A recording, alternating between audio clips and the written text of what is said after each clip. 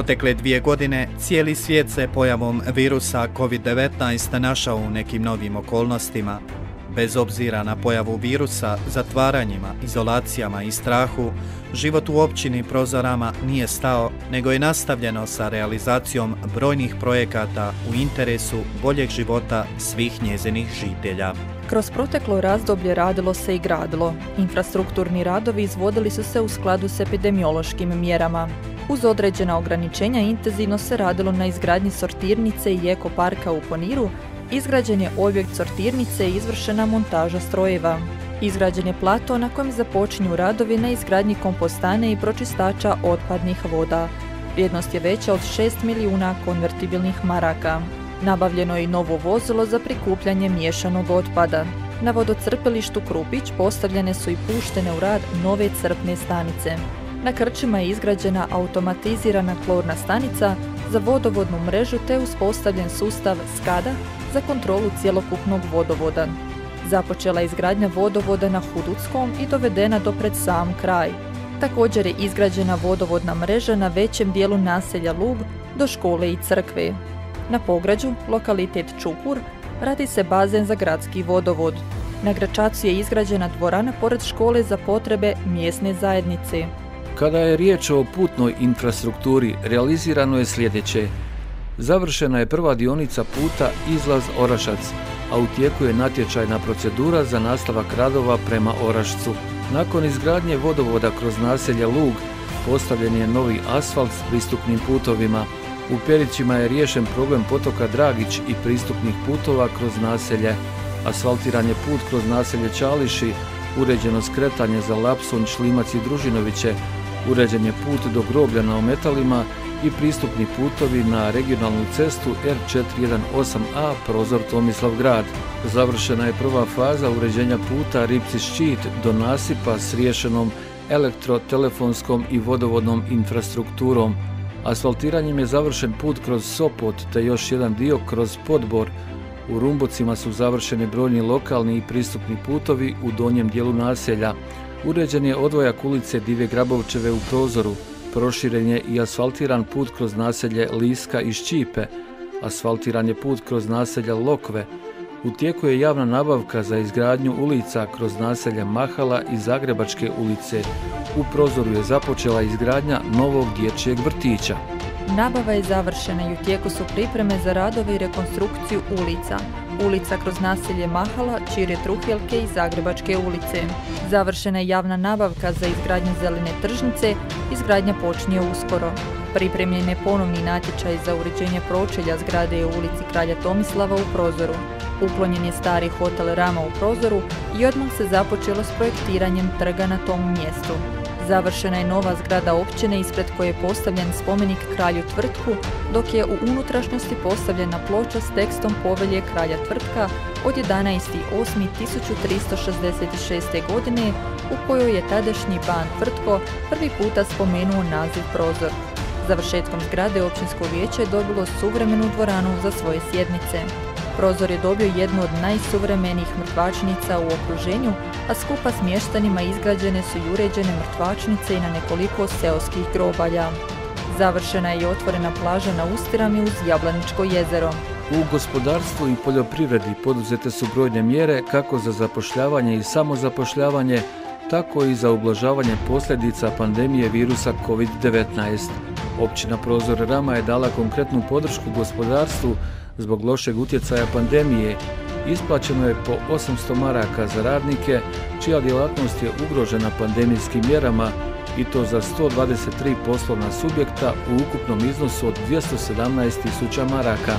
Gospodarstvo je pozvano da prijavi projekte novog zapošljavanja poradi odobravanja novčanih potpora.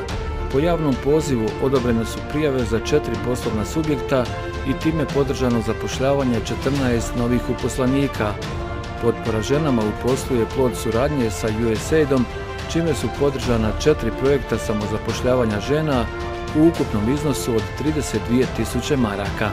Potpora mladima pri zapošljavanju i samozapošljavanju je bio pilot projekt općine kojim je podržano novo zapošljavanje za šest mladih osoba. Završen je projekt plasteničke proizvodnje u suradnji sa Muslimeid, kada je dodijeljeno 20 plastenika sa po stotinu kvadrata. Kroz zajednički program sa njemačkom organizacijom HELP potpomognut je rad 21 obrta na području ove općine. Uz redovne poticaje poljoprivrednoj proizvodnji od 400 tisuća maraka, ostvareni su poticaji za podizanje nasada šljive i revitalizacija voćnjaka, gdje je zasađeno više od 10 tisuća sadnica. Općinski poticaji za poljoprivredu u 2020. isplaćeni su po 646 predmeta. U području zdravstva, neovisno o pojavi virusa COVID-19, ostvareni su projekti poboljšanja zdravstvene zaštite. Dom zdravlja Rama je uz svoje redovito pružanje zdravstvenih usluga uveo kućnu njegu pacijenata, odnosno patronažnu službu. U sklopu Doma zdravlja počelo je djelovati odjel fizikalne medicine, tako da pacijenti ne moraju ići na fizikalnu terapiju u Mostar. Uređena je unutrašnjost zgrade Doma zdravlja Rama. Svakako treba istaknuti velike napore i brigu za pacijente zbog pojave virusa COVID-19. Uz redovitu zdravstvenu skrb došlo je testiranje i skrb za pacijente inficirane koronavirusom. Nova vozila za potrebe brige o ugroženim osobama kupljena su iz općinskih sredstava za dom zdravlja u prozoru i za Crveni križ prozor Rama. Briga za mlade i obrazovanje je još jednom pojačana. Na prijedlog načelnika doktora Joze Ivančevića, Općinsko vijeće za 2020. godinu donijelo odluku o povećanju potpore za novorođenu djecu i to za prvo dijete 1000, drugo 1500, treće i svako sljedeće 2000 konvertibilnih maraka, te je isplaćeno 162.900 konvertibilnih maraka u 2020. godini. I u 2021. godini nastavljeni su poticaji roditeljima za novorođenu djecu kao i kroz 2020. Dodijeljeno je 167 stipendija, odnosno 250 tisuća i 500 konvertibilnih maraka za akademsku 2019-2020 godinu, dok je za 2020-2021 akademsku godinu dodijeljeno 200 stipendija s ukupnim iznosom od 256 tisuća i 500 konvertibilnih maraka. Izvršena je rekonstrukcija krova osnovne škole Ivana Mažuranića Gračac i Fra Jeronima Vladića u Ripcima.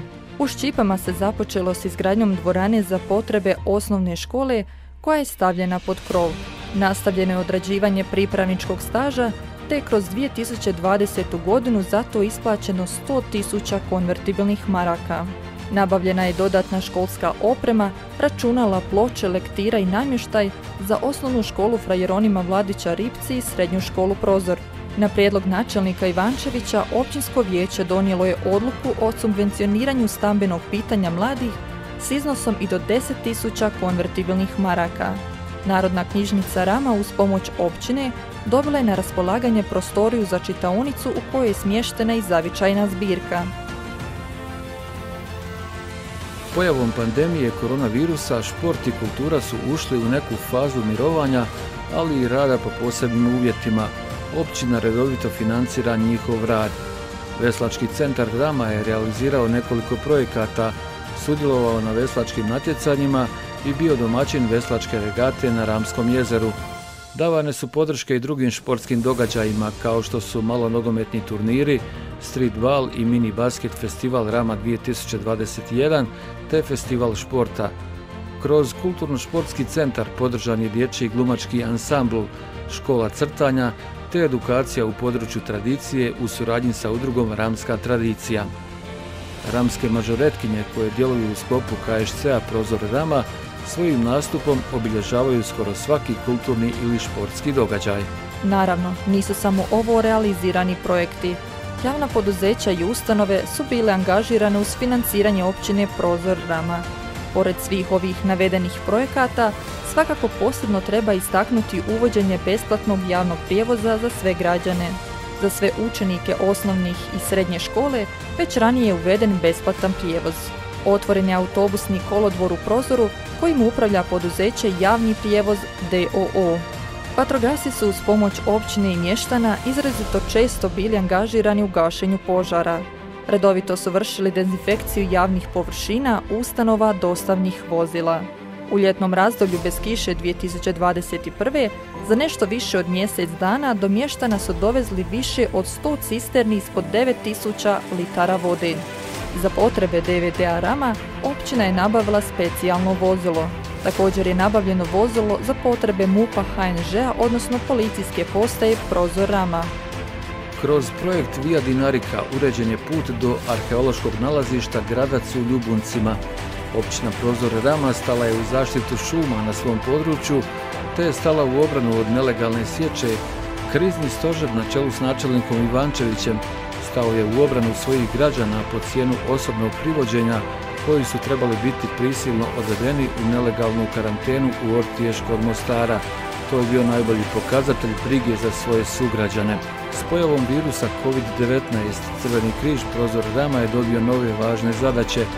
Djelatnici i volonteri su uz podršku općine dostavljali pomoć potrebitima i uspjeli su organizirati redovite akcije darivanja krvi te su bili na raspolaganju građanima. Da bi se sve to realiziralo, općina Prozorama na čelu s načelnikom uz suradnju sa općinskim vijećem je osigurala proračunska sredstva. U brizi za sredstva važna je bila i pravna borba za isplatu sredstava, takozvana obeštećenja i komunalne naknade. Dobivena je presuda za razdoblje od 1. lipnja 2016. do 30. lipnja 2019. sa pripadajućom zateznom kamatom, a stigla je još jedna jako vrijedna presuda. Time se za kapitalne projekte i druge potrebe osiguravaju sredstva koja stvarno i pripadaju općini Prozorama, a završavala su do sada negdje drugdje. Sve ovo je jedan pokazatelj borbe za bolji život u općini Prozorama, brige za njezine stanovnike.